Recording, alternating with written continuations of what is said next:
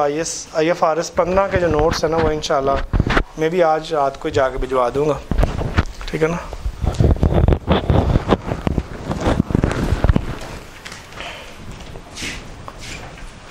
मैंने इसके ना आपको थेरी के नोट्स भी भेज दिए थे, और साथ जो हम स्लाइड्स वगैरह बनी हुई थी ना,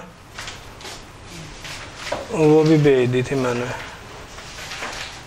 आज मैंने अपनी रिटर्न भी बनाने की कोशिश की है टाइम ही नहीं मिला। अपनी फॉर्म वालों ने तो अभी फाइनल नहीं की है। मेरी भी इसीलिए रुकी पड़ी थी, लेकिन मैंने कहा, यार, कुछ तो करें। अभी तो बनानी शुरू की है, यार। देखें कितनी होती है। और आधा भी देख टैक्स पेबल से अंदाज़ा लगाएँगे ना जी। कितना? है? तुमने क्या कह रहे? हाँ टैक्स जमा कराता हूँ यार। पिछली दफ़ा मैंने साढ़े तीन लाख रुपया जमा करवाया इस दफ़ा मेरा राधा नहीं बन रहा लेकिन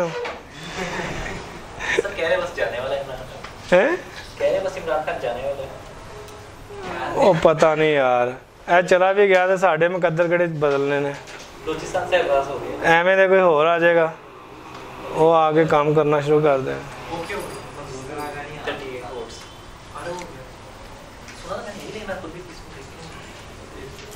ਕੋਈ ਐਵੇਂ ਦਾ ਹੋਰ ਆ ਕੇ ਬਹਿ ਜਾਏਗਾ ਸਾਡੇ ਉੱਤੇ ਸਾਡੀ ਕਿਹੜੀ ਜਾਨ ਛੁੱਟ ਜਾਣੀ ਹੈ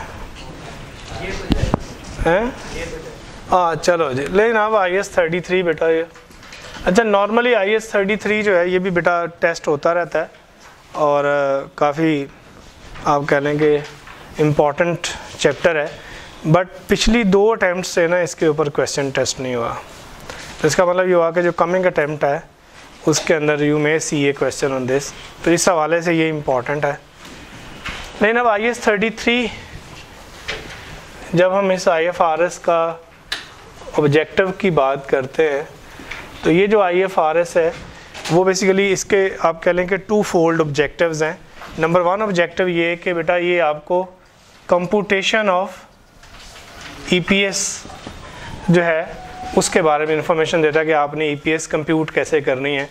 और जब हम computation of E P S की बात करते हैं तो there is a basic E P S and there is a diluted E P S basic E P S जो होती है, वो based on issued number of shares यानी वो शेयर्स जो इशूड हैं, उनके ऊपर बेस्ड होती है and which have a current claim over dividend यानी वो शेयर्स जो इशूड भी हैं, और उनका करंट क्लेम ओवर डिविडेंड है उसके लिए जो नंबर ऑफ़ शेयर्स यूज़ करते हैं, वो basically issued number of shares और उस ए को बेसिक ईपीएस कहते हैं। यानी बेसिकली अगर आप देखें तो ईपीएस का फार्मूला क्या है? Earnings divided by number of shares तो जब हम बात करते हैं बेसिक ईपीएस की तो इसमें जो डिनोमिनेटर होता है, वो इशूड नंबर ऑफ़ शेयर्स होते हैं which have a current claim over dividend जिनका करंट क्लेम ओवर डिविडेंड है और वो इशूड भी हैं they will be use to calculate the basic E और जो डालूटिव ई होती है बेटा it is based on issued यानी ये जो यहाँ हमने लिखे हैं as well as potentially issuable shares potentially issuable shares की आपने अगर देखें तो पिछली क्लासेस में काफ़ी एग्जांपल्स देखी हैं। जैसे I F R S two में अगर आपको शेयर बेस्ड एग्रीमेंट कर लेते हैं तो वो भी पोटेंशियली इशूएबल शेयर्स हैं। इसी तरह आपने एस थर्टी टू अगर आपको याद हो तो उसमें सम टाइम आप अपने ही शेयर्स के ऊपर सर्टन ऑप्शन कॉन्ट्रैक्ट कर लेते हैं तो उसके अंदर भी आप इशूड नंबर ऑफ़ शेयर्स की बात कर रहे होते हैं। क्लियर तो पोटेंशियली इशूएबल शेयर्स जो होते हैं, वो फर्दर दो तरह के होते हैं। एक को हम कहते हैं दे आर डालूटव और एक को हम कहते हैं दे आर एंटी डालूटव तो ये बात याद रखनी है कि जो बेस डालूटव ईपीएस है, वो बेस्ड है डालूटव पोटेंशियली इशूएबल शेयर्स यानी इसके अंदर हम इशूड भी यूज़ करेंगे, यानी जो यहाँ हमने यूज़ किए थे, और फिर हम पोटेंशियली इशूएबल शेयर्स को भी कंसिडर करेंगे, लेकिन पोटेंशियली इशूएबल शेयर्स को हम दो तरह के शेयर्स में डिवाइड करेंगे, एक वो जो डालूटव इन नेचर है, और एक वो जो एंटी डालूटव है। तो एंटी डालूटव जो होते हैं they are ignored in the calculation of P S and only dilutive in nature are use to calculate the dilutive E P S dilution क्या है? डालूशन वाटरिंग डाउन है। यानी ऐसे पोटेंशियली इश्यूएबल शेयर्स जिनको अगर हम एज्यूम करें, जब हम डालूटिव ईपीएस कैलकुलेट करते हैं तो वो एज्यूम कर लेट से ये जो हमारे पोटेंशियली इशूएबल शेयर्स हैं, अगर ये भी इशू हो जाते तो what should have been are EPS हमारी ईपीएस क्या होती? तो हम ये एज्यूम कर रहे होते हैं कि लेट से ये शेयर्स भी इशू हो जाएँ। तो फिर जब बेटा हम कहते हैं कि ये शेयर्स भी इशू हो जाएँ तो फिर ये देखना होता है कि सिर्फ़ वो पोटेंशियली इशूएबल शेयर्स जो आपकी अर्निंग पर शेयर को कम कर देते हैं या लॉस पर शेयर को इंक्रीज कर देते हैं, उनको सिर्फ़ यूज़ करते हैं। बेसिकली जब आप ये एज्यूम करेंगे ना लेट से दीज आर इशूड तो इनके ऊपर अगर आपने कोई इंटरेस्ट एक्सपेंस रिकग्नाइज किया हुआ है, जैसे कन्वर्टेबल लोन है कन्वर्टेबल प्रेफरेंस शेयर्स है तो आपने क्या किया होगा? कन्वर्टेबल प्रेफरेंस शेयर्स का डिविडेंड लेस करके बेसिक ईपीएस निकाली होगी, या कन्वर्टेबल लोन का इंटरेस्ट जो होगा वो लेस करके बेसिक ईपीएस कैलकुलेट की होगी। और जब हम एज्यूम करते हैं लेट से दीज हैव इशूड तो आया उसके ऊपर मुझे इंटरेस्ट पे करना पड़ेगा? उसके ऊपर मुझे डिविडेंड पे करना पड़ेगा? नहीं पे करना पड़ेगा ना बेटा। तो क्या होगा? उसकी वजह से मेरी अर्निंग सेव हो रही होगी। यानी जो पोटेंशियली इशूएबल शेयर्स होते हैं they have the effect on earning as well as on the number of shares तो डालूटिव कौन से होंगे? जिनका प्रोपोर्शनेट इफ़ेक्ट ऑन अर्निंग कम है और डिनोमिनेटर यानी proportionate effect on number of share ज़्यादा है, उनको हम कहते हैं कि they are dilutive in nature तो सिर्फ़ जो potentially issuable shares dilutive in nature होते हैं, सिर्फ़ बेटा उन्हीं को कंसिडर करते हैं while calculating while calculating dilutive EPS ठीक है? आगे जाके हम आपको मज़ीद बेटा ये एक्सप्लेन करते हैं। फिर ये आईएफआरएस जो है वो प्रेजेंटेशन की बात करता है। तो बेटा प्रेजेंटेशन के हवाले से ये बात याद रखनी है कि जब हम प्रेजेंटेशन की बात करते हैं तो बेसिक हो या डालूटिव ईपीएस हो that is presented on the face of the profit और लॉस अकाउंट उसको फेस ऑफ़ द प्रॉफिट और लॉस अकाउंट के ऊपर प्रेजेंट करते हैं। बड़ी इंपॉर्टेंट बात कि अगर किसी कंपनी के कंटिन्यूइंग ऑपरेशंस भी हैं और डिसकंटिन्यूइंग ऑपरेशंस भी हैं तो then I S thirty three requires कि आपने कंटिन्यूइंग ऑपरेशंस के लिए भी ईपीएस निकालनी है और डिसकंटिन्यूइंग ऑपरेशंस के लिए भी ईपीएस निकालनी है। ये रायत आपको स्टैंडर्ड दे देता है कि फेस के ऊपर, यानी face of the income statement के ऊपर आप बेशक नेट दिखा दें बट नोट्स में कंटिन्यूइंग ऑपरेशन की ईपीएस अलहदा दिखाएँ और डिसकंटिन्यूइंग ऑपरेशन की ईपीएस अलहदा दिखाएँ।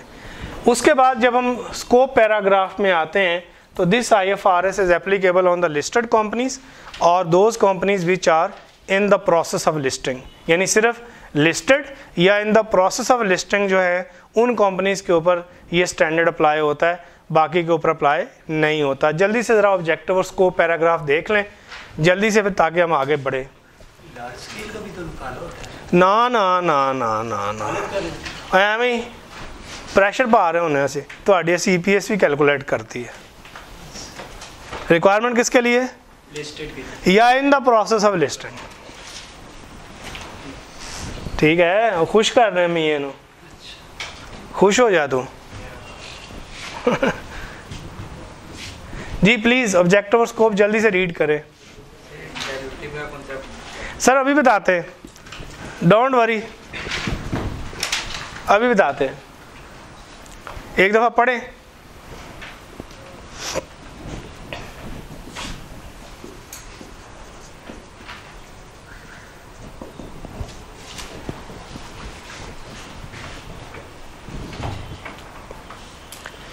यार ये वाला एसी बेटा थोड़ी देर चला दो यार गर्मी लग रही है।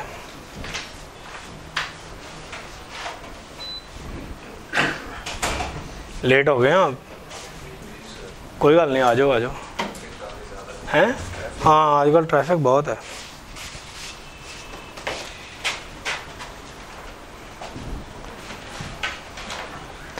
मैंने ना थ्रेटिकल भी आपको नोट्स भेजे हैं प्लीज़ उनको भी ज़रूर पढ़िएगा बेटा।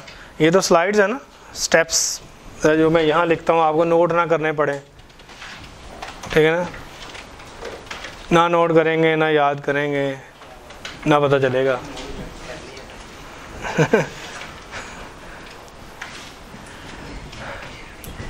जी डेफिनेशंस पे अगर हम आ जाएँ तो सबसे पहले डेफिनेशन जो है वो एंटी डालूशन की है।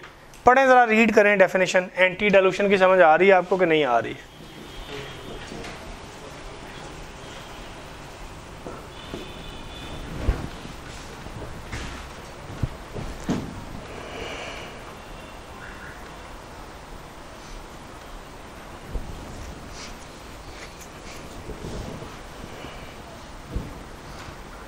जी।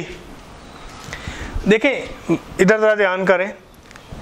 पोटेंशियली इशुएबल शेयर्स में हमने क्या अज्यूम करना होता है कि let's say these have been issued तो जब हम कहते हैं let's say these have been issued तो फिर ज़ाहिर है कि अगर वो पोटेंशियली इशुएबल शेयर्स थे, उनके ऊपर हमने कोई cost in the form of interest या डिविडेंड पे की हुई है तो वो हमारी सेव हो जाएगी ना, अगर हम उसको इशूड शेयर्स अज्यूम करेंगे।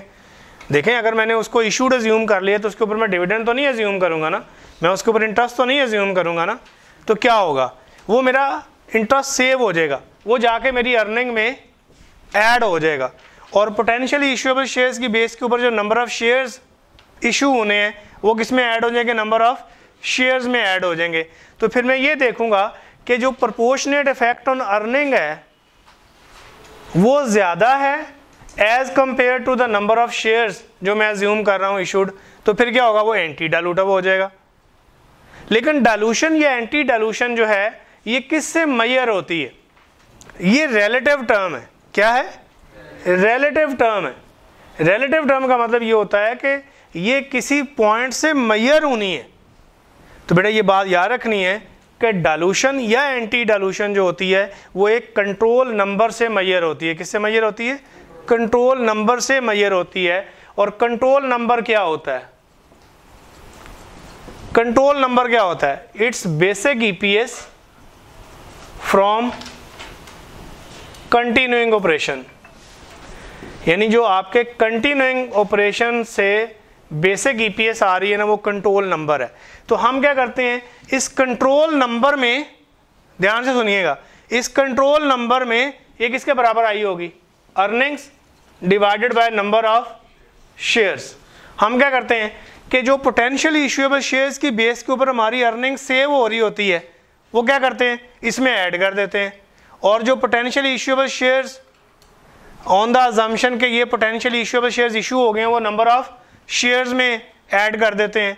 तो अगर तो ये कम हो जाए, यानी ड्रॉप हो जाए तो उसको क्या कहेंगे कि ये इन नेचर है। और अगर ये बढ़नी शुरू हो जाए तो इसको क्या कहेंगे? ये एंटी डालूटिव इन नेचर है। तो बेसिकली जो पोटेंशियल इशूएबल शेयर्स होते हैं, उनको क्लासिफाई करना होता है कि ये एंटी डालूटिव हैं या डालूटिव हैं। एंटी डालूटिव कौन से होते हैं? जिनकी वजह से बजाय अर्निंग पर शेयर कम होने के बढ़नी शुरू हो जाए तो बेटा, उसको एंटी डालूटिव कहते हैं। और आपने प्रूडेंस कॉन्सेप्ट तो सुना ही हुआ है। देखें user of the financial statement को आपने वर्स्ट पोजीशन दिखानी है। तो वर्स्ट किस से नज़र आएगी? डालूटिव से नज़र आएगी, ना कि एंटी डालूटिव से नज़र आएगी। तो इसलिए फिर हम क्या करते हैं कि जो anti dilutive potential issuable shares होते हैं, उनको इग्नोर कर देते हैं और जो डालूटिव इन नेचर होते हैं, यानी जिनकी वजह से डालूशन जिनकी वजह से ईपीएस कम हो रही होती है, उनको इंक्लूड कर लेते हैं। अब ज़रा एंटी डालूशन और डालूशन की डेफिनेशन पढ़ेंगे तो समझ आ जाएगी आपको। आज करके भी दिखाते हैं आपको, ऐसी कौन सी बात? जी प्लीज़ जल्दी से देखें। इसके साथ जो है वो डालूटव भी पढ़ें आप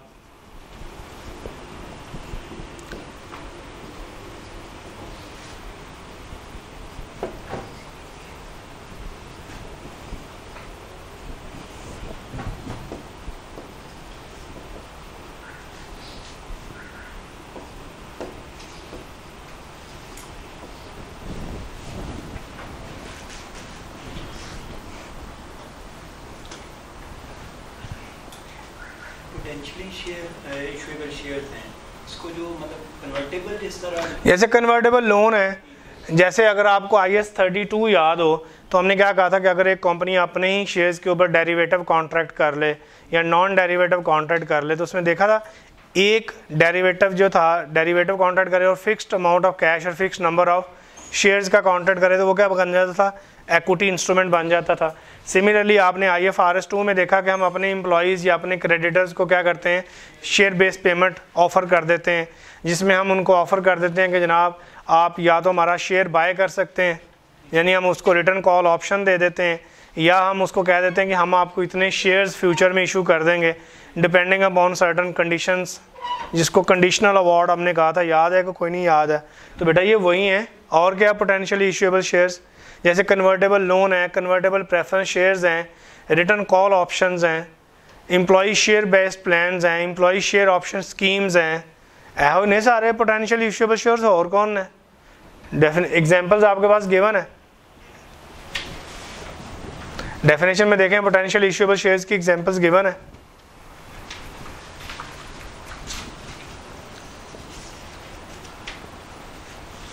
भैया, आपका मास्क नीचे गिर गया और बेटा, आपका पाँव आ जाना है इसके ऊपर। ये नीचे देखें, ये। आपका नहीं है? चलो फिर ठीक है। फिर पीछे कर दें। ऐसे, चलो।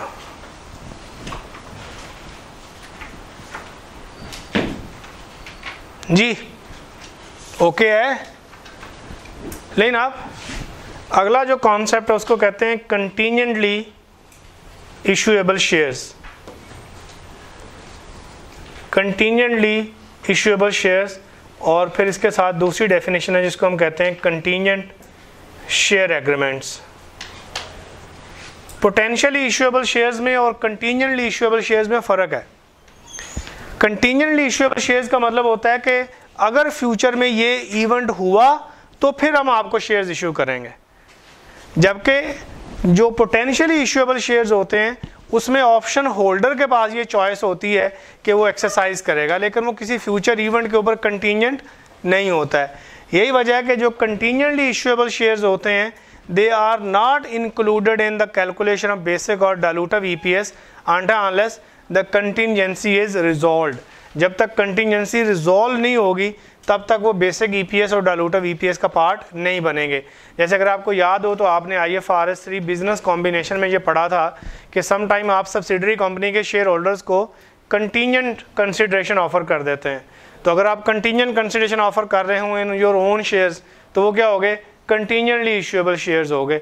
तो जो कंटीजेंटली इशूएबल शेयर्स होते हैं, they are not included in the calculation of basic or dilutive EPS unless and until the contingency is resolve फिर जब contingency रिजॉल्व हो जाती है, उसके बाद वो बेसिक ई पी एस में कैसे इंक्लूड होने हैं और डालूटिव ईपीएस में कैसे इंक्लूड होने हैं, इसको हम बाद में डिस्कस करेंगे। But you should be knowing contingent share agreement क्या होते हैं और कंटीजेंटली इशूएबल शेयर्स क्या होते हैं। जनाब, ये डेफिनेशंस हैं। ज़रा जल्दी से रीड कर लें और अगर कोई चीज़ नहीं क्लियर हो रही तो बेटा पूछ लें। अगर आप स्लाइड नंबर कौन सी? स्लाइड नंबर चार पे आएँगे ना तो बेटा आपको ये सारे नज़र आ जाएँगे डिफरेंट जो एग्जांपल्स हैं पोटेंशियली इशूएबल शेयर्स की।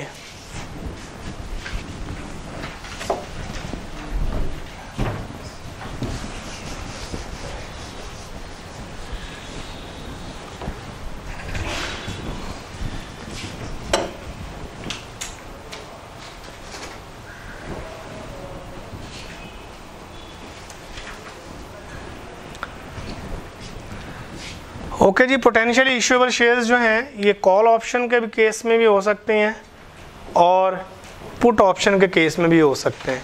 कॉल का मतलब क्या है? बाय करने का राइट और पुट ऑप्शन का मतलब होता है सेल करने का राइट तो ये बात याद रखनी है कि ये रिटर्न भी हो सकती हैं और परचेज भी हो सकती हैं। ये भी रिटर्न भी हो सकती हैं और परचेज भी हो सकती हैं। तो ये बात याद रखना है कि रिटर्न का मतलब ये कि एंटिटी ने ऑप्शन लिख के अगली पार्टी को दे दी है। No the the party has a right to exercise कब करेगी पार्टी एक्सरसाइज जब उसके लिए फेवरेबल होगी तो वही डालूटा होएगी ना। अगर मैंने ऑप्शन परचेज की हुई है तो मैं कब एक्सरसाइज करूँगा? जब मेरे लिए फेवरेबल होगी। तो इसका मतलब क्या हुआ कि एंटिटी के लिए फेवरेबल होने का मतलब क्या है? कि that will always be anti dilutive तो हमेशा ये दोनों जो होती हैं, वो एंटी डालूटव होती हैं। और अगर रिटर्न कॉल ऑप्शन है, और बेटा आपकी जो मार्केट वैल्यू है, अगर वो हायर है एक्सरसाइज प्राइस से तो तब ये डालूटव होती हैं। इसी तरह जो पुट ऑप्शन है, ये तब डालूटव होएगी अगर एक्सरसाइज प्राइस जो है वो ग्रेटर है मार्केट वैल्यू से। तो ये बड़ा इंपॉर्टेंट फिनोमेना है। देखें, वो आपसे क्यों बाय करेगा? जब मार्केट से कम प्राइस पे आपसे राइट होगा, वो कब आपको सेल करेगा? जब मार्केट से एक्सरसाइज प्राइस ज़्यादा होगी तो बेटा ये दो सर्कमस्टांसेस होंगे तो रिटर्न कॉल ऑप्शन जो है या पुट ऑप्शन जो है रिटर्न पुट ऑप्शन वो डालूटिव हो सकती है। ये दोनों तो होती ही एंटी डालूटिव है। जो परचेज है ना, उसमें किसके पास राइट है? कंपनी के पास राइट है। और कंपनी कब करेगी उस राइट को एक्सरसाइज जब वो कंपनी के लिए फेवरेबल होगा। तो कंपनी के लिए फेवरेबल होगा तो वो तो एंटी डालूटिव ही होगा ना मेरे भाई। ठीक है? आज तक वैसे एग्जामिनर ने कभी ये नहीं बताया कि ये रिटर्न है कि परचेज है, ठीक है जी, कॉल है कि पुट है, अभी एग्जामिनर इस लेवल तक नहीं पहुँचा। आपके पास पेपर्स में जब भी सवाल एग्जामिनर ने पूछा है, वो इसी का पूछा हुआ है, बगैर कुछ मेंशन किए। क्योंकि वो क्या क्या कर देता है? मार्केट वैल्यू को ज़्यादा कर देता है और एक्सरसाइज प्राइस को कम कर देता है। तो इसका मतलब क्या हुआ फिर? रिटर्न कॉल ऑप्शन ही है ना जी? तो इनशाला सीख जाएगा वो, अभी सीखा नहीं है उसने। जी जल्दी से पढ़े ना जी। मुकाबला बड़ा सख्त है आज।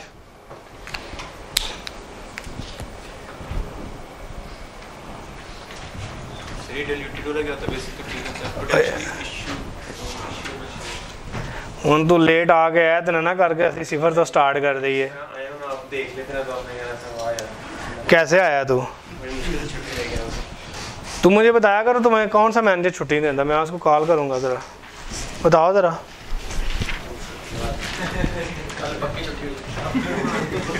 तुम बताओ मुझे। नहीं तुम्हारी छुट्टी भी नहीं कराएँगे ये भी बता दो। कंफर्मेशन हैं? अब्दुलरमान के अंडर है। लो। अब्दुलरमान को तो हम कह देंगे। कह दूँगा अब्दुलरमान को। वो तो आज सियालकोट है।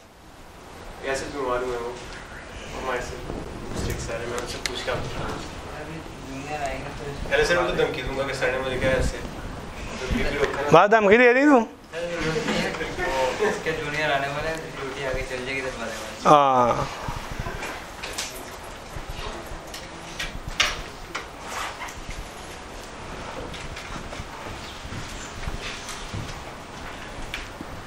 जी भाईजान अभी तक कोई चीज़ ना समझ आई हो। आई एस थर्टी टू और I F R S nine के क्या हालात हैं? समझ आए हैं कुछ? कोई सवाल किए हैं खुद जाके? हैं कि नहीं? परेशान कौन हालात हैं कि बेहतर हैं, कोई समझ आ रही है? हम्म? आप बेटा मुस्कुरा रहे थे, आपको समझ आई है कि नहीं आई है? नहीं नहीं, बताएँ। मुश्किल लग रहे हैं। लेकिन जो क्लास नोट्स है ना, उनको दोबारा दोबारा पढ़ें। आप लोग मिस कर जाते हैं बातें। अक्सर मैंने देखा कि आप लोगों को याद नहीं होता कि इधर करना क्या है। क्योंकि जनाब अली ने कभी रिवाइज नहीं किया जाके। जाके दोबारा दोबारा बार, बहुत छोटे छोटे पॉइंट्स हैं और बेशुमार हैं। लेकिन आप नेक्स्ट पॉइंट पे आते हैं प्रेजेंटेशन नहीं नहीं। पिछली दफ़ा तो उसने, उसमें दोनों में पूछा है। विंटर में और समर में दोनों में पूछा है।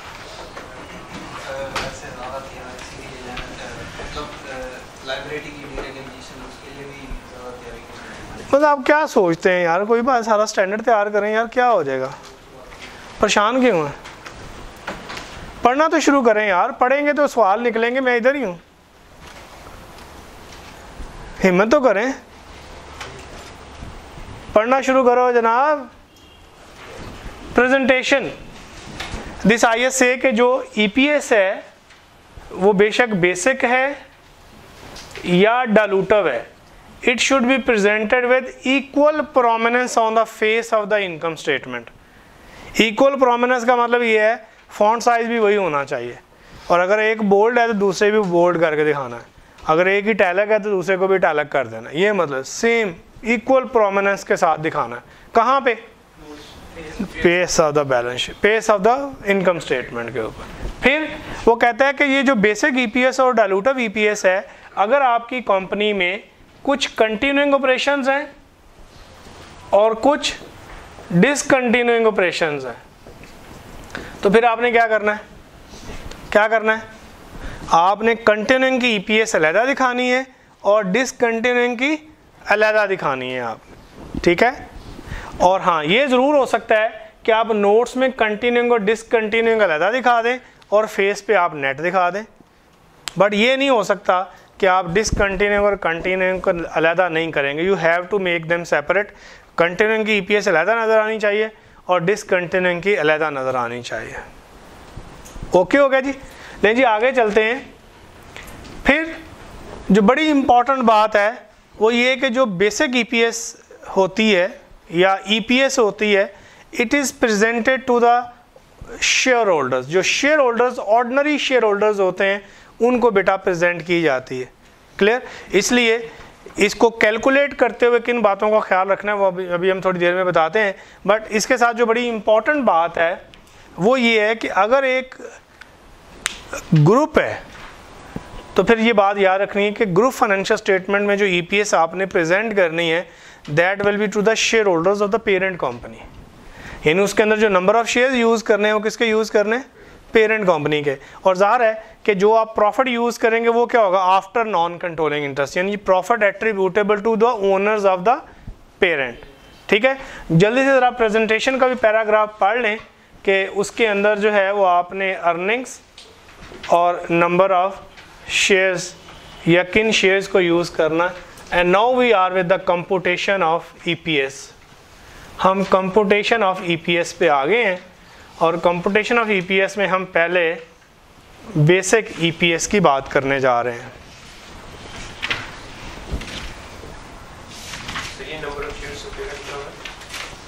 अर्निंग्स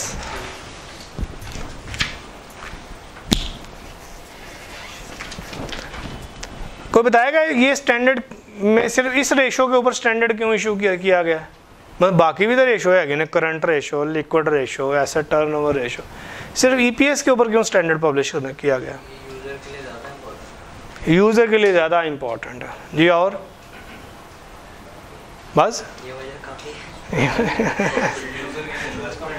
शेयर को पर शेयर एक शेयर के ऊपर कितनी अर्निंग मिल रही है ये पता चलता है। ये पता चलता है। बेसिकली ये है कि जो अर्निंग पार शेयर होती है ये मेजर मेजर ऑफ़ परफॉर्मेंस है और साथ ही जो वैल्यू कैलकुलेट करनी होती है ना किसी भी कंपनी के शेयर्स की, उसके अंदर भी जो उसकी अर्निंग पर शेयर होती है, उसको हम यूज़ करते हैं। इंशाल्लाह बीएफडी पढ़ेंगे तो आप शेयर वैल्यूएशन मॉडल्स या मेथड्स पढ़ेंगे तो अर्निंग जो होता है वो हमारा मेजर ईपीएस जो है वो measure measure of the market value of the company भी होता है। तो चूँकि डिफरेंट कंपनीज़ की अर्निंग्स को या डिफरेंट कंपनीज़ की मार्केट वैल्यूज़ को कंपेयर करना होता है, जो मार्केट पार्टिसिपेंट्स होते हैं। तो इसलिए इसकी डेफिनेशन को स्टैंडर्डाइज कर दिया गया है। यानी इसके अंदर अर्निंग्स क्या यूज़ करनी है और नंबर ऑफ़ शेयर्स क्या यूज़ करने इसको स्टैंडर्डाइज कर दिया गया है, ताकि डिफरेंट कंपनीज़ जो हैं वो कंपेरेबल रहें। ठीक है? आई बात समझ के नहीं आई है? मैं क्या आया ना ना? कहो जी करंट रेशो द स्टैंडर्ड शायद आना है। इसलिए बता दिया। मतलब आपने वो काफरों का स्टैंडर्ड जो है I F R S nine वो पढ़ा है कि नहीं पढ़ा समझ आ रहा है कुछ अच्छा मैं क्या पूछ लूँ ना जी नहीं तो आपने कहा नहीं आया तो काफरों का स्टैंडर्ड है मैं नहीं पढ़ना बाकी बंदा मेरू नॉमिनी है बाकी बंदा मेरू नॉमिनी ने पब्लिश किया वो लेकिन वो ज़्यादा खतरनाक है ਉਹਦੇ ਤੇ ਇਫੈਕਟਿਵ ਰੇਟ ਆਫ ਇੰਟਰਸਟ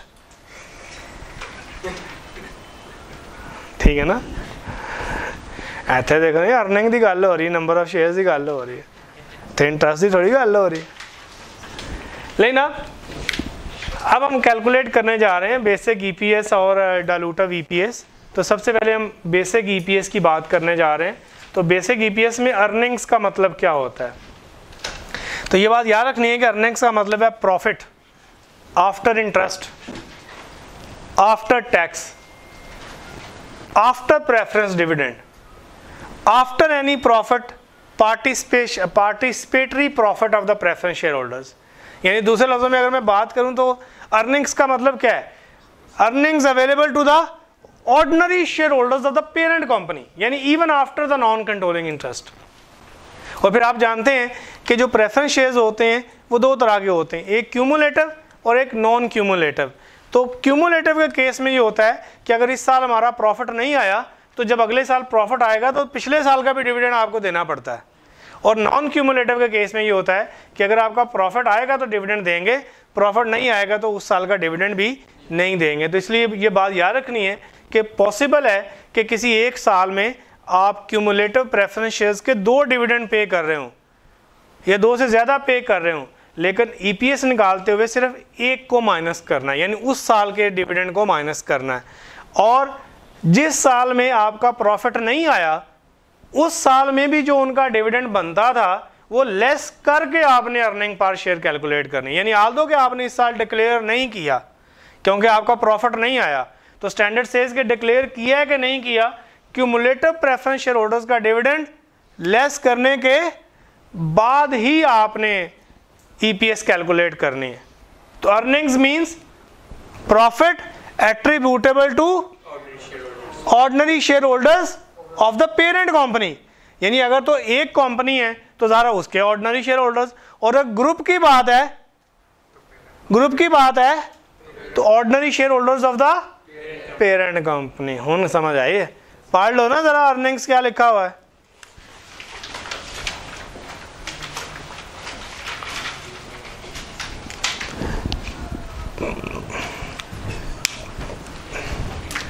आज तो इजी स्टैंडर्ड है ना? क्या ख्याल? इजी इजी नहीं है?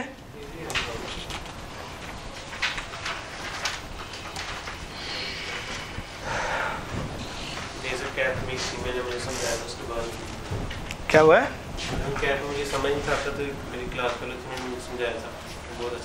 फिर समझ आ गया था। वो बेटा इस वजह से नहीं आया था।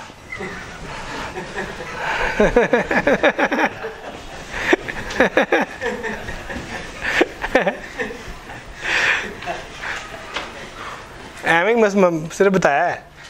गलती दूर की है। इसकी वो क्या कहते हैं? गलत फहमी दूर की है। हाँ।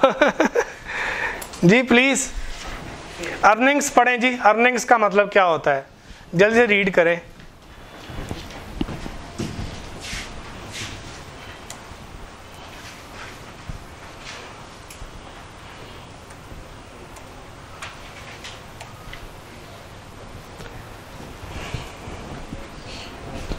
पढ़ लें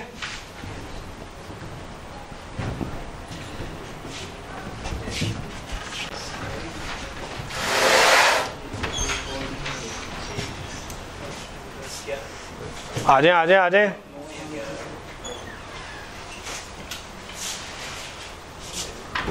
हाँ जी, पढ़ लिया जी। क्या मतलब है?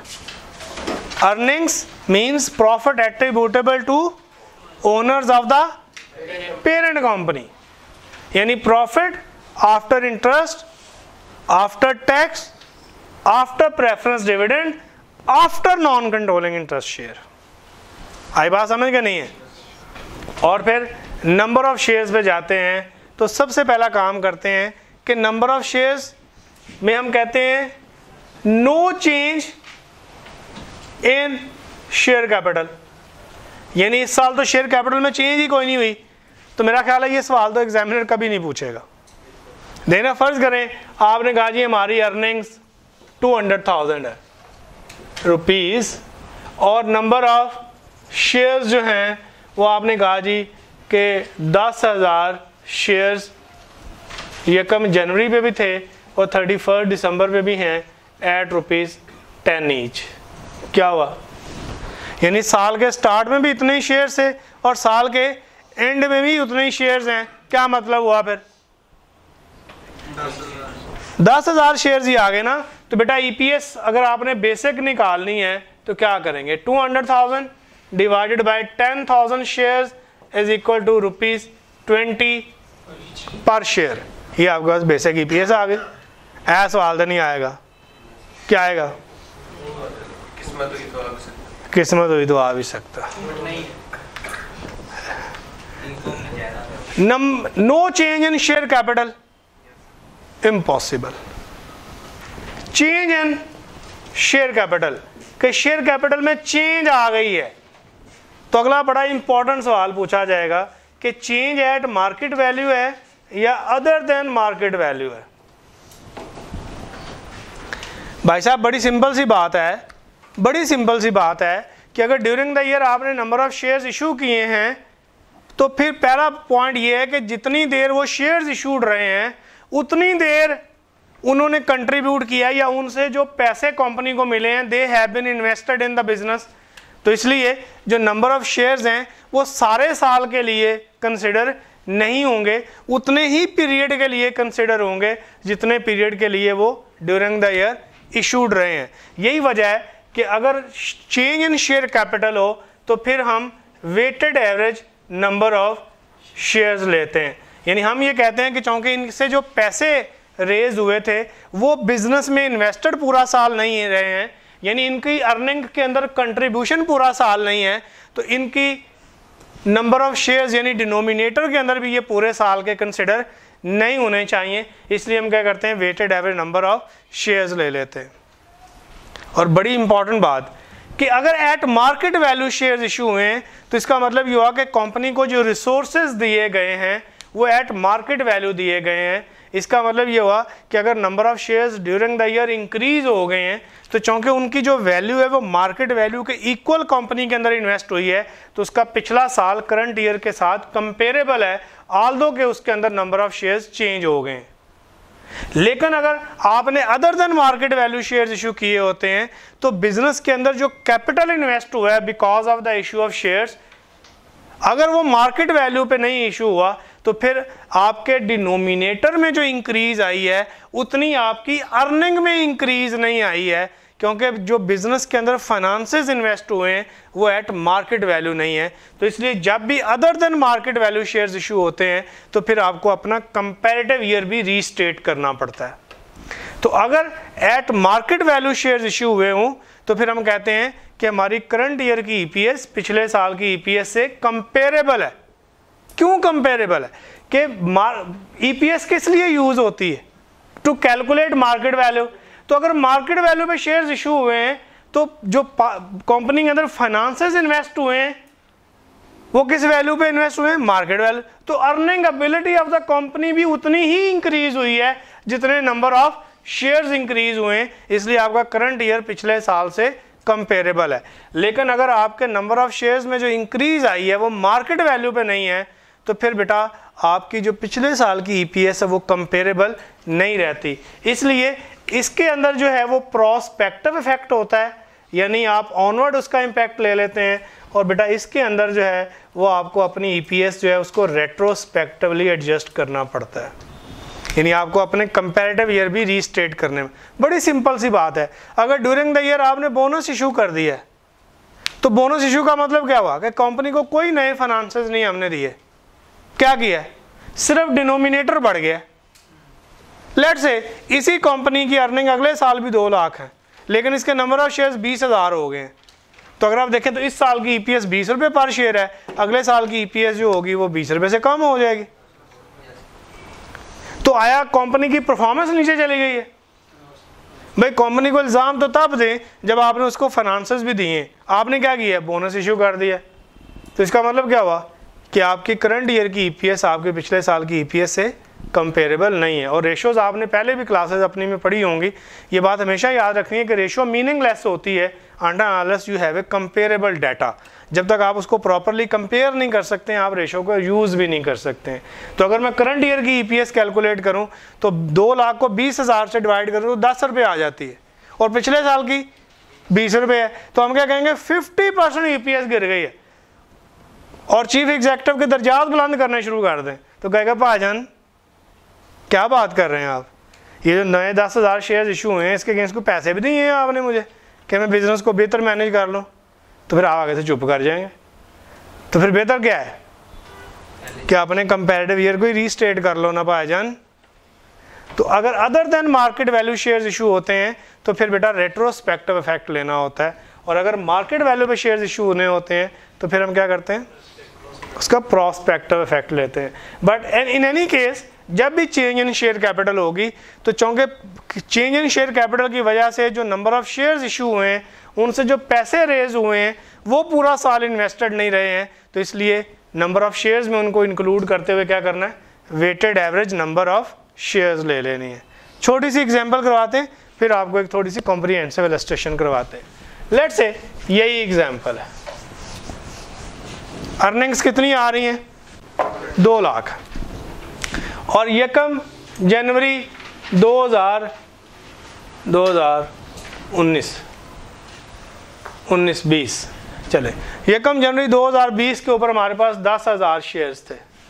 फिर हमने थर्टियथ अप्रैल 2020 को मज़ीद पाँच हज़ार शेयर्स इशू कर दिए एट मार्केट वैल्यू ठीक है जी? फिर हमने थर्टी फ़र्स्ट अक्टूबर 2020 के ऊपर तीन हज़ार शेयर्स बाय बैक कर लिए हैं एट मार्केट वैल्यू और आपसे कहा जा रहा है कि ज़रा बेसिक ईपीएस तो कैलकुलेट करके दिखाएँ। तो आप कहेंगे अर्निंग्स कितनी आ रही हैं? दो लाख। फिर आप कहेंगे नंबर ऑफ़ शेयर्स कितने आ रहे हैं? तो जब भी during the year capital structure change हो रहा हो तो फिर आपने एक छोटा सा टेबल बना लेना क्या करना है?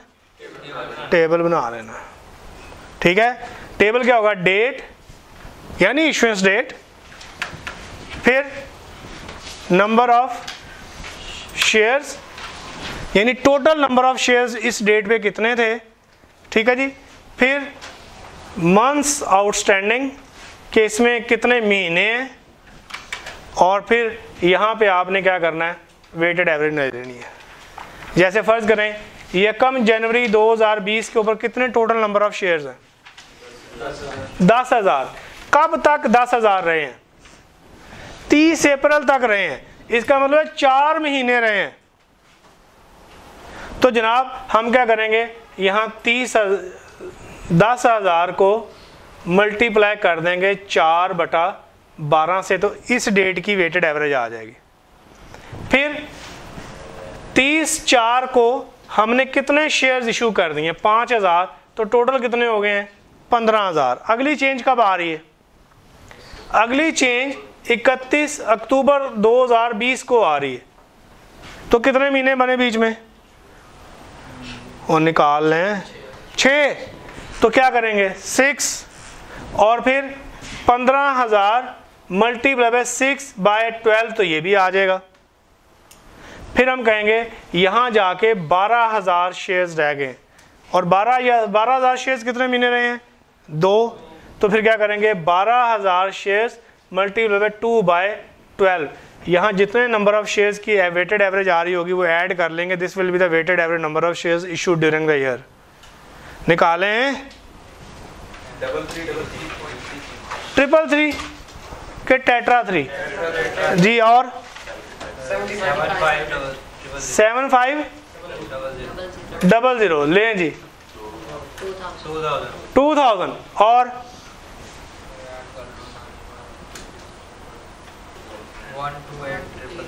One two eight triple three लें जी डबल ठीक है जी. और नंबर ऑफ़ शेयर्स आ गए बारह हज़ार आठ सौ तैंतीस. और बेसिक ईपीएस आपके पास आ गई दो लाख डिवाइडेड बाय बारह हज़ार आठ सौ तैंतीस. यानी कि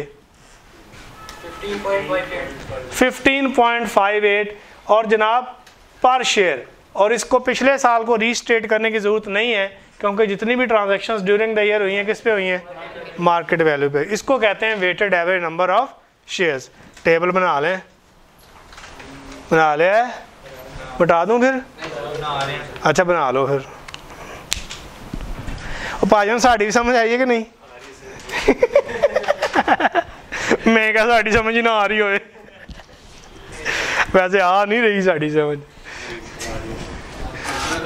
है नहीं अब तो झूठ ही बोलेगा वो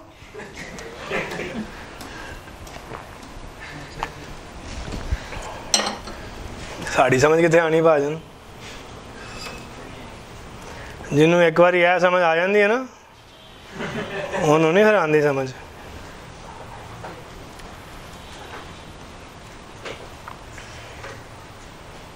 लें जी इसके साथ मैंने आपको एक्सेल की एग्जाम्पलें भी भेजी हुई हैं। भेजी हुई हैं कि नहीं? एक्सेल में इसलिए भेजी हैं। फार्मूलाज लगे हुए हैं ताकि आपको कुछ ना करना पड़े। ठीक है ना जी? और कुछ किए बगैर ही आप क्लास एग्ज़ाम में चले जाएँ। और कुछ किए बगैर ही वापस आ जाएँ। हाँ इरादे हमारे बड़े ऊँचे होते हैं। नया पाकिस्तान बनाएँगे। सर इन प्रोसेस जब बनेगा हाँ जी बन रहा है बन रहा है। हाँ।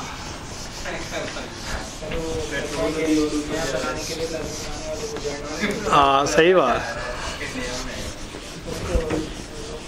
हाँ फिर पता नहीं हम हूँ ना हूँ। 99 पे कैप्टन होने के बाद क्लियर किया वो सेल्फलेस है जी। ये। हाँ जी। इसका क्या सबूत है आपके पास इस बात का? ये सोशल मीडिया। एयर बाय न्यूज़। आप न्यूज़। मिटा दो बेटा। इंसान इंसाफ का रिवीजन भी चला था।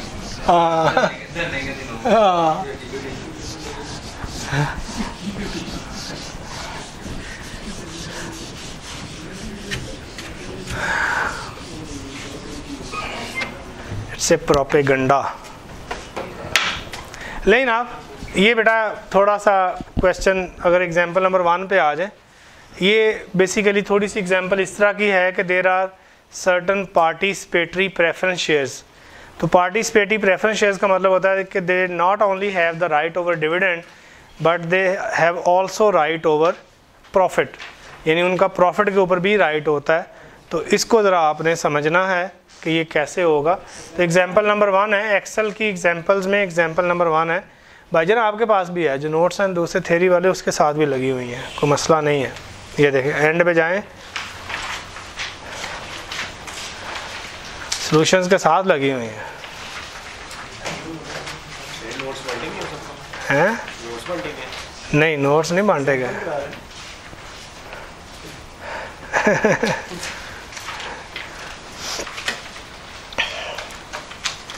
ले जी स्टार्ट करें जी। सर ये बेटा वेटेड एवरेज क्लियर होगी कैसे कैलकुलेट होनी है? लेकिन आप अब आते हैं। इनकम फ्रॉम ऑर्डनरी एक्टिविटीज़ यानी एक बिज़नेस की ऑर्डनरी एक्टिविटीज़ से इनकम आ रही है एक लाख। और डिसकंटिन्यूइंग ऑपरेशन जो हैं, उनसे आपका लॉस आ रहा है फाइव थाउज़ेंड तो नेट इनकम जो है, वो आपकी आ रही है नाइन्टी फाइव थाउज़ेंड फिर वो कह रहा है कि six percent cumulative preference shares यानी छः परसेंट क्यूमुलेटिव प्रेफरेंस शेयर्स आपने इशू किए हैं which are participatory preference shares capital और रुपीज़ टेन ईच यानी दस रुपये का एक शेयर है। तो बेटा दस हज़ार शेयर हो गए ना जी? अगर एक लाख कैपिटल है और दस रुपये का एक शेयर हो तो कितने शेयर्स बनते हैं? दस हज़ार। लेकिन अब दूसरी साइड पे चलें तो कॉमन शेयर्स का मतलब होता है ऑर्डनरी शेयर्स कॉमन ऑर्डनरी क्या ख्याल है? उसके बाद है कि आपने शेयर्स इशू किए हैं एट मार्केट वैल्यू एक चार दो हज़ार पाँच को, यानी यकम अप्रैल को, और फिर आपने शेयर्स इशू किए हैं for cash at market value on July zero one two thousand five और फिर आपने ट्रेजरी शेयर्स का मतलब होता है आपने शेयर्स मार्केट से बाय बैक कर लिए हैं। ट्रेजरी शेयर कैपिटल आपको आई एस थर्टी टू में पढ़ाया था पाजन अगर एक कंपनी अपने ही शेयर्स मार्केट से बाय बैक कर ले तो उसको बेटा ट्रेजरी शेयर कैपिटल कहते हैं। ऐसे देख रहे हैं जैसे मैंने पहली दफ़ा बात की है। याद है? लेकिन आप आगे चलते हैं। राइट ओवर प्रॉफिट अब वो कह रहे हैं कि प्रॉफिट का राइट कैसे है? Right over profit after five percent dividend to closing ordinary shares यानी जो ऑर्डनरी शेयर्स का राइट ओवर प्रॉफिट होता है, वो कितना है? पाँच परसेंट। यानी पाँच परसेंट जो है वो उनको डिविडेंड देंगे और उसके बाद जो रिमेनिंग प्रॉफिट बचेगा, उसकी डिस्ट्रीब्यूशन की रेशियो दी जा रही है rupee one for every preference share and rupee two to the ordinary share holders यानी जो रिमेनिंग प्रॉफिट होगा, उसको ऐसे डिवाइड करना है कि एक रुपया प्रेफरेंस शेयर होल्डर्स को मिले और दो रुपये किसको मिले? ऑर्डनरी शेयर होल्डर्स को मिले। ठीक है जनाब? तो जनाब, इसके अंदर एक तो अर्निंग्स आपने निकालनी है। ठीक है जी? और एक बेटा आपने, और फिर बड़ी इंपॉर्टेंट बात कि आपने कंटिन्यूइंग की बेटा अलहदा निकालनी है। डिसकंटिन्यूइंग की अलहदा निकालनी है और नेट आपने अलहदा निकालनी है। ठीक है जी? और अर्निंग्स निकालने के लिए ज़ाहिर है कि आप कहेंगे कि जनाब वर्किंग नोट वन में हमने अर्निंग्स निकालनी है। जी, कितना है प्रॉफिट जो नेट प्रॉफिट है कितना है? नाइन्टी फाइव थाउज़ेंड है very good ninety five thousand जो है वो प्रॉफिट है। और इसके ऊपर प्रेफरेंस डिविडेंड कितना है? सिक्स परसेंट बेटा, एक लाख का छ परसेंट कितना हुआ? छ हज़ार। ये कम हो गया। तो ये वो प्रॉफिट बचा जो आफ्टर प्रेफरेंस डिविडेंड है which is eighty nine thousand clear फिर वो कहता है कि इसमें से ऑर्डनरी डिविडेंड भी लेस करें। साल के आखिर में देखें कितने नंबर ऑफ़ शेयर्स हैं। वो नहीं निकालने आ रहे। साल के शुरू में साल के शुरू में 78,000 थे 20,000 इशू हुए तो ये बन गए 98,000 12,000 ऐड हुए तो कितने हो गए? एक लाख दस हज़ार और दस हज़ार बायबैक किए तो कितने नंबर ऑफ़ शेयर्स हो गए? एक लाख और दस रुपए का एक शेयर है। और हमने क्या कहा है? फाइव परसेंट मिलेगा ना? क्या ख्याल है? तो बेटा ये एक लाख शेयर्स दस रुपए का एक शेयर है, उसका फाइव परसेंट ले लें। हाँ जी? पचास हज़ार ऑर्डनरी डिविडेंड होगा तो ये वो प्रॉफिट होगा जो कि बन रहा है थर्टी नाइन थाउज़ेंड ये वो प्रॉफिट है जो ऑर्डनरी शेयर होल्डर्स में और प्रेफरेंस शेयर होल्डर्स में डिवाइड होना है। और इसके लिए फिर आप इक्वेशन बनाएँगे और वो होगी one x plus two x यही है ना? और भाई अगर एक का एक है और दूसरे का दो है तो two one plus two x is equal to thirty nine thousand तो एक्स किसके इक्वल आएगा? एक्स पहले कॉमन ले लो ना। तो वन प्लस टू थ्री हो गया ना जी। और यहाँ थर्टी नाइन थाउज़ेंड से डिवाइड कर दें। थर्टीन थाउज़ेंड जो है वो इसका बन रहा है जी। सही बनाया है? देखे ना जी। वो कह रहा है, हर एक रुपए का, उसको दो रुपए ठीक हो गया जी। लेकिन गलत बनाया। कैसे भला?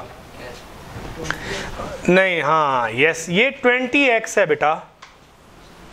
और इसको ट्वेंटी थ्री से डिवाइड करें। सॉरी ट्वेंटी वन से। ओ भाईजान आपने शेयर्स की रेशो नहीं ना ली? वो दस हज़ार शेयर्स हैं। और वो एक लाख शेयर्स हैं। पर शेयर है ना बेटा? ये देखो, एक दस की रेशो बन रही है। ये देखो, भाई वो दस हज़ार शेयर्स हैं और ये एक लाख शेयर्स हैं। रेशो कितनी बनी? वन और टेन की। फिर इसको दो मिलने हैं और इसको एक मिलने हैं। तो रेशो क्या बनी? वन और ट्वेंटी बनी ना जी? अब आएगा, ऐसे निकालें यार, गलत निकाल दिया आपने। वन एट फाइव तो जनाब, इसको मिलेगा वन एट फाइव सेवन और इसको? और यार थर्टी नाइन थाउज़ेंड में से one eight five seven less कर दे। Three seven one four two के three three three seven one four three ये ऑर्डनरी शेयर होल्डर्स का प्रॉफिट है और ऑर्डनरी डिविडेंड भी तो इनको मिलना है ना? तो इसका मतलब क्या हुआ कि earnings available to ordinary share holders कितनी हुई फिर? बेटा, ये ऑर्डनरी डिविडेंड लेस नहीं होता ईपीएस निकालने के लिए। प्रेफरेंस डिविडेंड लेस होता है। तो profit available to ordinary share holders कितना हुआ? दिस प्लस दिस जी? और पाजन thirty seven thousand one forty three plus fifty thousand eighty seven thousand one four three पाँच हज़ार डिसकंटिन्यूड का। तो कंटिन्यूइंग कितना हो गया? इसमें ऐड करेंगे तो नाइन्टी टू थाउज़ेंड 143 वो प्रॉफिट है जो कंटिन्यूइंग ऑपरेशंस का प्रॉफिट है। और भाईजान ये तो नेट एलोकेट हुआ ना।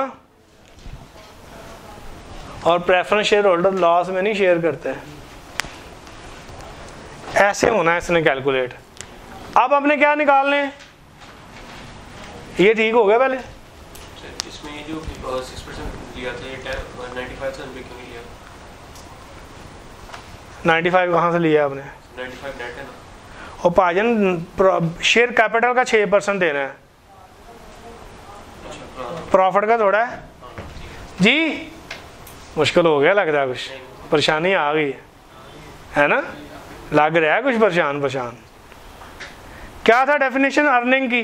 Profit available to ordinary share holders of the parent company तो उसमें से प्रेफरेंस शेयर होल्डर्स का प्रॉफिट तो लेस करना पड़ेगा ना। बेशक वो डिविडेंड की शक्ल में हो, बेशक वो in the participation of profit हो। ठीक है? ठीक है? और क्या number of shares number of shares निकालने के लिए हम वर्किंग नोट टू बनाएँगे और देखेंगे कि नंबर ऑफ़ शेयर्स कितने हैं।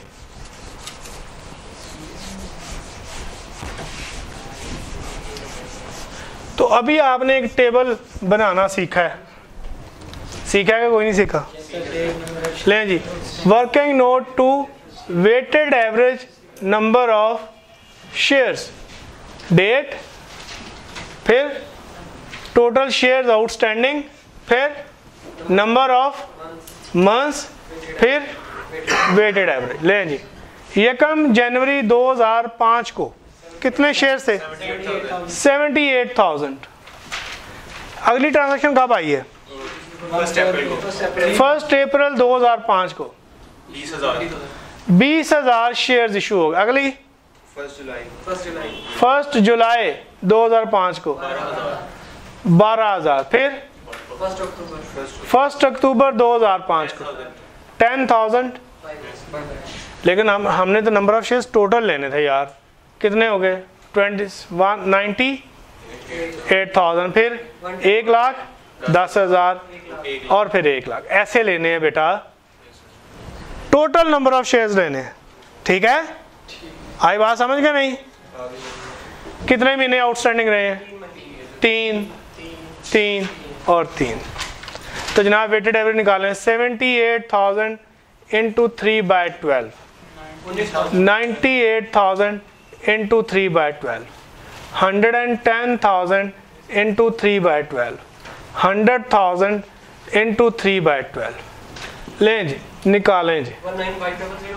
One nine five double zero two four five double zero twenty seven thousand five hundred twenty five thousand तो ऐड कर लें फिर।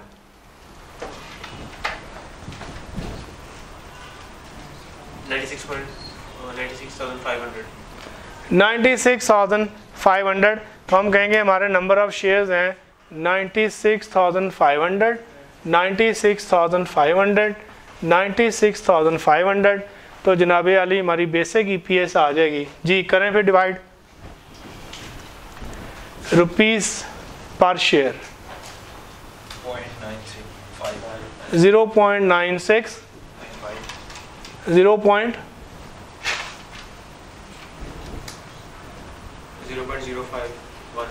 zero point zero five चलो। ये पॉइंट नाइन वन आ रहा है मेरे पास। तो ये? ले जनाब इसको कहते हैं बेसिक ई पी एस आई समझ के कोई नहीं आई। सर वर्किंग वन है फॉर सम रीजन भाई हमने प्रॉफिट वो निकालना है जो हमारे ऑर्डनरी शेयर होल्डर्स को अवेलेबल है।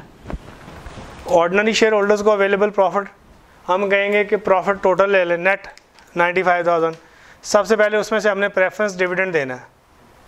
लेकिन जो रिमेनिंग प्रॉफिट जो पार्टिसिपेशन के लिए यूज़ होता है वो नॉर्मली आफ्टर ऑर्डनरी डिविडेंड भी होता है। तो प्रेफरेंस शेयर होल्डर्स का प्रेफरेंस डिविडेंड लेस करें। ऑर्डनरी शेयर होल्डर्स का ऑर्डनरी डिविडेंड लेस करें तो प्रॉफिट अवेलेबल फॉर पार्टिसिपेशन आ गया। उस प्रॉफिट को डिवाइड करें between ordinary share holders and preference share holders और जो ऑर्डनरी शेयर होल्डर्स का शेयर आया है उसमें उनको ऑर्डनरी डिविडेंड ऐड कर दें तो that is the total profit available to the ordinary share holders of the parent company उससे जो नेट में रहा 87143 ये किस तरह होगा भाई हमने पचास हज़ार में सैंतीस हज़ार एक सौ उनतालीस ऐड कर दी है। यही तो बताया अभी आपको। पचास हज़ार हमारा ऑर्डनरी डिविडेंड था और सैंतीस हज़ार जो था वो हमारा प्रॉफिट में शेयर था रिमेनिंग प्रॉफिट में।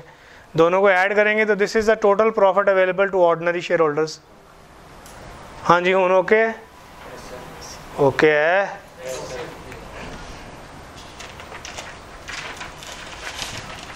आपके नोट्स में एक टेबल बना हुआ है, जो आपको थेरी के नोट्स भेजे हुए हैं, उसमें एक टेबल बना हुआ है कि जो इशूड नंबर ऑफ़ शेयर्स होते हैं, उनको किस डेट से एज्यूम करते हैं।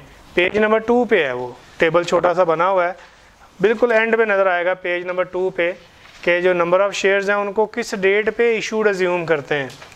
बना हुआ टेबल का? कोई नहीं बना हुआ। कि किस इवेंट में अगर शेयर इशू होगा तो वो किस डेट से onward weighted average number of shares में इंक्लूड होगा। एनु रटा ला लो पायन। ठीक है ना? क्योंकि नॉर्मली एग्जामिनर ये different types of issuances of shares है। तो आपको पता होना चाहिए कि किस डेट से हमने नंबर ऑफ़ शेयर्स को इंक्लूड करना है in the calculation of EPS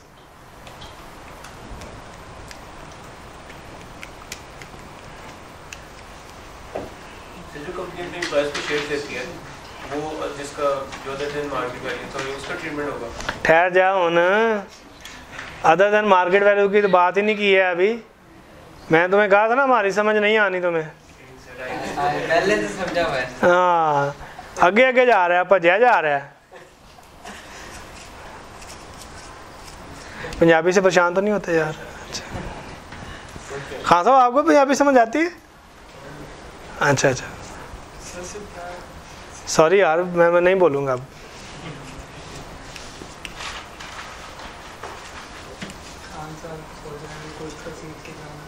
हाँ पंजाबी सीख लें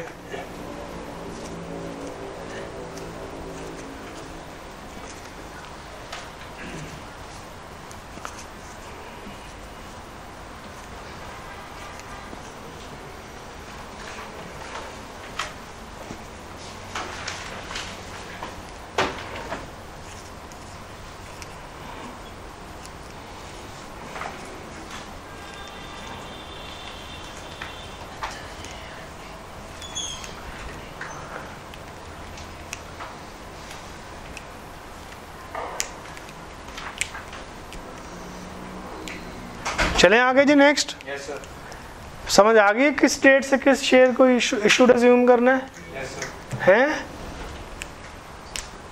नहीं क्लियर हुआ?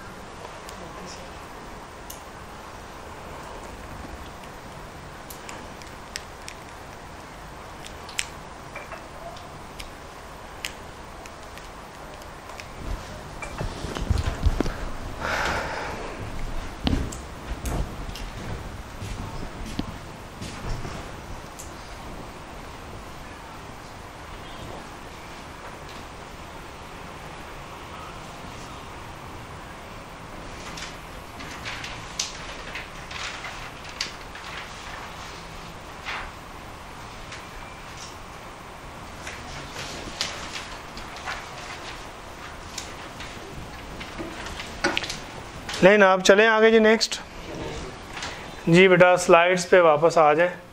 और अब जो है, वो हम बात करने जा रहे हैं।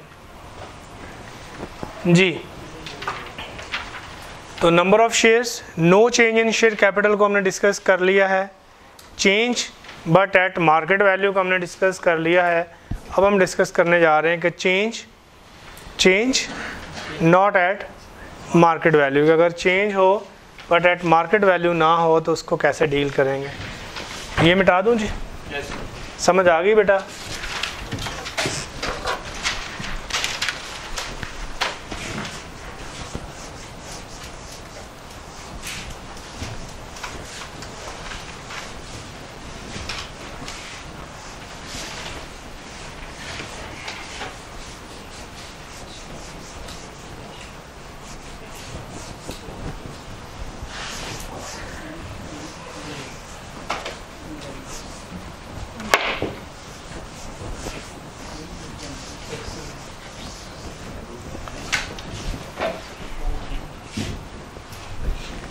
लेकिन आप change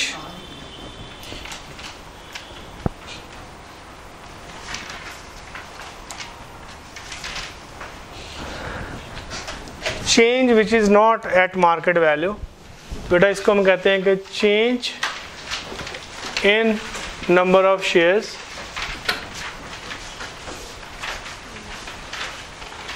other than market value कि अगर change in number of shares आ रही है और वो अदर देन मार्केट वैल्यू है तो उसको कैसे डील करेंगे? तो सबसे पहली बात ये है कि आया ये बोनस इशू है, या ये राइट इशू है। आप जानते हैं बोनस इशू में बोनस इशू के साथ जो है वो आप स्प्लिट ऑफ़ शेयर्स भी शामिल कर लें। और कंसोलिडेशन ऑफ़ शेयर्स भी शामिल कर लें। जानते हैं आप इसको? जी। बोनस का मतलब होता है नए शेयर्स हम इशू कर रहे होते हैं विदाउट एनी कंसिड्रेशन स्प्लिट का मतलब होता है कि आपके शेयर की मार्केट वैल्यू अगर बहुत ज़्यादा बढ़ जाए, जैसे फ़र्ज़ करें रफ़ान मेज़ पाउडर्स का शेयर है, साढ़े पाँच छः हज़ार का शेयर है। या फ़र्ज़ करें हम कहते हैं इंडस मोटर का शेयर है, तेरह, चौदह सौ रुपये का शेयर है। तो वो ट्रेड यानी उसके अगर हमने सौ शेयर परचेज़ करने हैं तो आपको कितने पैसे चाहिए? तो तेरह सौ का शेयर है। ठीक है जी? नहीं। तेरह सौ रुपये का शेयर है। तो सौ शेयर्स कितने के आए? एक लाख तीस हज़ार के। और हज़ार शेयर्स बाय करने के लिए? तेरह लाख। तो शेयर ट्रेड होना जो होता है, वो बहुत कम हो जाता है। उसकी ट्रेडिंग जो है वो कम हो जाती है तो हम क्या करते हैं? अगर फ़र्ज़ करें वही दस रुपये का शेयर जो है, उसके हम दस शेयर बना दें तो तेरह सौ की बजाय एक सौ तीस पे आ जाएगा और उसकी ट्रेडिंग शुरू हो जाती है। लेकिन अगर आप देखें तो नंबर ऑफ़ शेयर्स बढ़ गए हैं बट ये नहीं हुआ कि हमने कोई नए शेयर्स इशू किए हैं, हमने एक शेयर को दस शेयर बना दिया। कंसोलिडेशन ये होती है कि जैसे फ़र्ज़ करें घिसा पटा पिटा शेयर है, सिल्क बैंक का वज़ीर ख़जाना का शेयर है, सिल्क बैंक। तो सिल्क बैंक जो है, वो डेढ़ रुपए का शेयर है। ठीक है जी? दस रुपये का शेयर, डेढ़ रुपए का रह गया। ठीक है जी? तो आप कहते हैं, यार, ये तो बड़ी बिस्ती वाली गल है। तो आप क्या करते हैं? आप कहते हैं, ऐसे करते हैं, दस शेयर का मिला के एक शेयर बना देते हैं। तो कम अज़ कम तेरह रुपये पंद्रह रुपये का तो हो जाए ना जी। इज़्ज़त होनी शुरू हो जाए थोड़ी जी। तो इसको कहते हैं कंसोलिडेशन ऑफ़ शेयर कि आपने शेयर को कंसोलिडेट कर दिया है। लेकिन अगर आप देखें तो इसमें नंबर ऑफ़ शेयर्स कम हो गए हैं बट ये नहीं हुआ कि आपने शेयर्स बाय बैक कर लिए हैं, बल्कि आपने दस शेयर्स का एक शेयर बना दिया। ठीक है ना? तो ऐसी सिचुएशन में फिर हम कहते हैं कि नंबर ऑफ़ शेयर्स में चेंज आ रही है बट कंपनी ने कोई ना कोई पैसे रिसीव किए हैं और ना ही कंपनी ने कोई पैसे पे किए हैं। But number of shares change हो गए। राइट इशू में ये होता है कि नंबर ऑफ़ शेयर्स चेंज होते हैं लेकिन कंपनी कोई ना कोई कंसिडरेशन भी ले रही होती है बट वो एट मार्केट वैल्यू नहीं होते हैं बिलो द मार्केट वैल्यू होते हैं। यानी इसके अंदर भी बोनस एलिमेंट होता है, लेकिन 100 परसेंट बोनस नहीं होता है। क्लियर तो हमने बात की थी कि जब भी change in number of shares होगा अदर देन मार्केट वैल्यू तो it will be having a retrospective effect ये रेट्रोस्पेक्टिव इफ़ेक्ट होगा। यानी आपको अपने कंपैरेटिव ईयर की ईपीएस भी रीस्टेट करनी पड़ेगी। नॉर्मली तो एक साल कंपैरेटिव के तौर पे आता है। लेकिन अगर आप किसी ऐसे साल में, जैसे फ़र्ज़ करें आपने कोई प्रॉस्पेक्टस इशू किया होता है तो आप पिछले पाँच साल के रिजल्ट्स दे रहे होते हैं तो फिर स्टैंडर्ड कहता है कि सिर्फ़ एक साल की नहीं, बल्कि आपने रेट्रोस्पेक्टिवली ऐसे रीस्टेट करना है कि जैसे ये शेयर्स हमेशा से इन इशुएंस हैं। यानी अर्लीस्ट कंपैरेटिव ईयर से इनको रीस्टेट करके लाना है। क्लियर तो फिर अगर during the year bonus issue हो स्प्लिट हो या कंसोलिडेशन ऑफ़ शेयर्स हो तो फिर हम कहते हैं कि एक तो इससे कंपेरेटिव ईयर इफ़ेक्ट होता है। ठीक है जी? एक तो कंपेरेटिव ईयर इफ़ेक्ट होता है और एक इससे करंट ईयर इफ़ेक्ट होता है। ठीक है जी? कंपैरेटिव ईयर के लिए दो तरीके हैं, लेकिन आप एक ही रखा करें। ठीक है जी? वो क्या है? कि आप क्या करते हैं? Multiply bonus fraction with weighted average number of shares used for calculation of basic EPS यानी जो बेसिक ईपीएस के लिए आपने नंबर ऑफ़ शेयर्स की वेटेड एवरेज निकाली होती है उसके साथ आपने क्या करना है? बोनस फ्रैक्शन को मल्टीप्लाई कर देना है।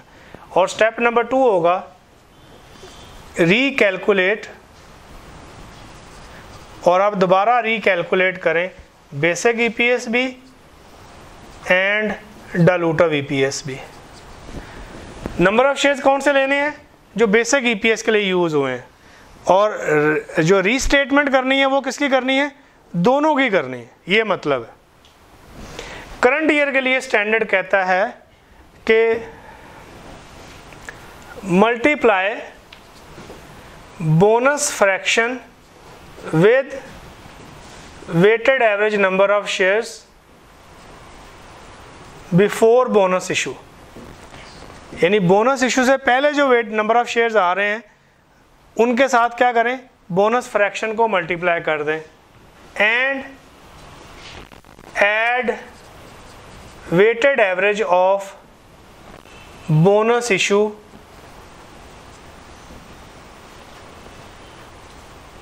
with number of shares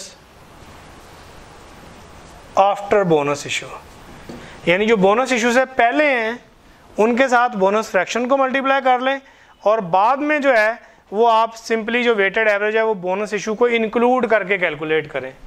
And add weighted average and add weighted average नहीं add bonus issue with weighted average of shares after bonus issue. तो यूँ क्या होएगा कि इनका रेट्रोस्पेक्टिव इफ़ेक्ट आ जाएगा। यानी ऐसे लगेगा जैसे बोनस इशू आज नहीं हुआ, कब से? जब से है। यानी तब से है। ठीक है? यानी हमेशा से, ठीक है?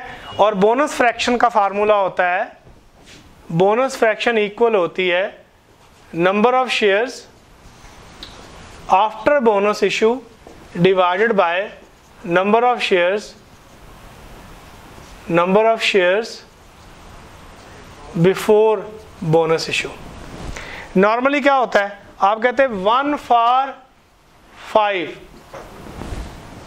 तो बोनस इशू के बाद कितने शेयर्स हो गए? छ और पहले कितने? पाँच। नहीं समझ आई। समटाइम आप कहते हैं टेन परसेंट बोनस इशू तो बोनस इशू के बाद कितने हो गए? 110 और बोनस इशू से पहले कितने थे? 100 बोनस फ्रैक्शन बन गई ना यार। नहीं बनी? ठीक है। क्लियर हो गया कि नहीं हुआ? सर ये जो कंपैरेटिव ईयर और कंटेंट ईयर में जो। आपने अभी करके दिखाते हैं। इधर लिखा है एक एक पॉइंट बताएँगे ऐसे थोड़ा। लो जी एग्ज़ाम्पल नंबर टू पे आ जाए फिर। भाई समझ आ रही? देख लें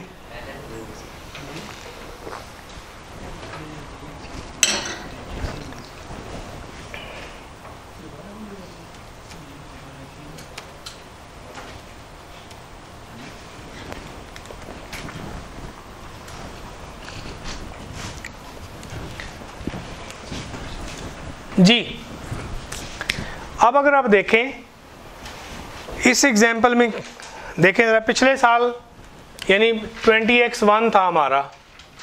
इस साल हमारी अर्निंग्स कितनी थी? 200 नंबर ऑफ़ शेयर्स भी कितने थे? 200 तो पिछले साल हमने क्या किया? बेसिक ईपीएस कैलकुलेट की, कितनी आ रही है? 200 divided by 200 is equal to rupees per share one आ गया। पढ़े एग्ज़ाम्पल यही है। एक्स ज़ीरो है कि एक्स वन है? ये पिछला साल एक्स ज़ीरो है? लो जी एक्स ज़ीरो कर देते हैं। लो जी हेलो करंट ईयर में क्या हुआ है? करंट ईयर में क्या हुआ है? Net profit is 400 ordinary shares outstanding until 30th September 20x1 200 और बोनस इशू आपने दिया है two ordinary shares for every one तो बोनस इशू के बाद कितने शेयर्स हो गए? तीन। हर वो बंदा जिसके पास दो शेयर्स एक शेयर था, कितने हो गए? तीन। दो, उसको हमने बोनस दे दिया। तो बोनस फ्रैक्शन क्या बनी? Number of shares after bonus issue कितने हुए? तीन। बिफोर वन फ्रैक्शन होगी ना जी? अब आपने क्या करना है? अब आपने कहना है कि मैं 20x वन के कंपैरिजन में 20x ज़ीरो प्रेजेंट कर रहा हूँ। तो आपने क्या करना है? आपने कहना है अर्निंग्स इस साल की अर्निंग 400 इस साल की अर्निंग 200 फिर आपने कहना है नंबर ऑफ़ शेयर्स क्या लिखा हुआ है? पिछले साल के जो नंबर ऑफ़ शेयर्स हैं, कितनी वेटेड एवरेज है पिछले साल के नंबर ऑफ़ शेयर्स की? 200 इसको क्या करना है? बोनस फ्रैक्शन से मल्टीप्लाई कर देना, यानी थ्री बाय वन से मल्टीप्लाई किया तो कितने नंबर ऑफ़ शेयर्स आ गए? 600 नंबर टू पॉइंट क्या लिखा हुआ है? दोबारा ईपीएस कैलकुलेट कर लें। जी 200 divided by 600 is equal to 33 paisa per share हो गया वो। आई बात समझ के नहीं आई है? करंट ईयर की ईपीएस कैलकुलेट करनी है। टेबल बनाएँगे। फ़र्स्ट जनवरी को कितने शेयर से? बोले 200 फ़र्स्ट सितंबर है? तीस सितंबर को। कितने शेयर्स हो गए? 600 टोटल लेने होते हैं। ये शेयर्स कितने महीने आउटस्टैंडिंग रहे हैं? Nine by twelve. ये थ्री बाय ट्वेल्व। इकतीस दिसंबर आ गई ना भाई अगे वो साल में बारह महीने होते हैं। बारह मौसम नहीं होते हैं। जी तो क्या हुआ? ये आपके पास आ गया। क्या लिखा हुआ है? Multiply bonus fraction with number of shares before bonus issue इसके साथ बोनस फ्रैक्शन को भी मल्टीप्लाई कर दें, ये लिखा हुआ है। और फिर बोनस इशू को इंक्लूड करके वेटेड एवरेज कैलकुलेट कर लें। क्या किया है? 200 में से चार 200 में 400 शेयर बोनस वाले ऐड कर दिए। इन दोनों की बेटा वेटेड एवरेज निकाल ले। 600 ही आएँगे। तो ऐसे लग रहा है कि ये शेयर्स आज 30 सितंबर को इशू नहीं हुए। हमेशा से इनिश्योरेंस है। 600 क्या है? हमेशा से इनिश्योरेंस है। आई बात समझ गए नहीं है? वो स्टेप क्लियर होने के नहीं हुए? भाई बोनस इशू ऐसे अकाउंट फार करना है जैसे आज नहीं हुआ, हमेशा से हुआ है। हमेशा से नहीं लग रहा। ये देखो 600 हमेशा नहीं हो गए। इस साल की ईपीएस कितनी आएगी? 400 डिवाइडेड बाय 667 पैसा पर शेयर यानी बोनस इशू को ऐसे एज्यूम करना है, जैसे इस साल नहीं हुआ। क्या हुआ है? Beginning of earliest comparative year से हुआ है। क्यों ये एज्यूम कर रहे हैं? बेटा, ज़रा आप अगले साल की ईपीएस को कैलकुलेट करके देखें। इस साल एक रुपया आ रही है। अगले साल 67 पैसा आ रही है। तो क्या हमारी परफॉर्मेंस कम हो गई है? परफॉर्मेंस तो बड़ी है, लेकिन बेसिकली नंबर ऑफ़ शेयर्स जो हैं वो बढ़ गए हैं without any contribution in the share capital without any sorry without any contribution in the resources of the business तो हमने क्या किया किया फिर? पिछले साल की ईपीएस को क्या किया है? रीस्टेट कर दी है। इसको रीस्टेटमेंट कहेंगे। आई बात समझ के कोई नहीं आई है। लग नहीं रहा वैसे कोई समझ आए। हूँ। कौन से वाले? भाई इस साल तो ये इंडिपेंडेंट ईयर प्रेजेंट हुआ था ना। इस साल में 200 अर्निंग थी 200 शेयर से एक रुपये आ गई। जब हम 20 एक्स ज़ीरो को 20 एक्स वन में के कंपेरेटिव में लेके आएँगे तो चौंके during the year bonus issue हो गया तो क्या करेंगे? रेट्रोस्पेक्टिवली रीस्टेट करेंगे। वो देखें, लिखा हुआ है कंपेरेटिव ईयर को कैसे रीस्टेट करना है। पिछले साल की जो weighted average number of shares है, उसको क्या करना है? मल्टीप्लाई कर देना है बोनस फ्रैक्शन के साथ। कितनी बोनस फ्रैक्शन है? थ्री बाय वन भाई, हर वो बंदा जिसके पास पहले एक शेयर था, कितने हो गए? तीन। चले टोटल नंबर ऑफ़ शेयर से निकाल लें। बोनस इशू से पहले कितने शेयर है? 200 इशू करने के बाद कितने हो गए? 600 तो 600 बटा 200 करेंगे तो थ्री बाय वन नहीं बनेंगे ना भाई? तो पिछले साल के नंबर ऑफ़ शेयर्स को क्या करें? बोनस फ्रैक्शन से मल्टीप्लाई कर दें। इस साल के वो नंबर ऑफ़ शेयर्स जो बोनस इशू से पहले हैं, उनके साथ भी बोनस फ्रैक्शन को मल्टीप्लाई कर दें। और फिर इस साल में जो बोनस इशू के बाद वाले शेयर्स हैं, उनकी बोनस इशू इन इंक्लूड करके weighted average number of shares निकाल लें। तो ऐसे लगेगा कि ये बोनस इशू आज नहीं हुआ। हमेशा से निश्वेंस है। उन भी समझ आई कि नहीं आई लेकिन जी, अगली बात है राइट इशू करें स्टार्ट जी। एक दफ़ा पढ़ लें बोनस इशू का बेटा पैराग्राफ पढ़ लें। बंदा पढ़ ही लेता है कभी कभी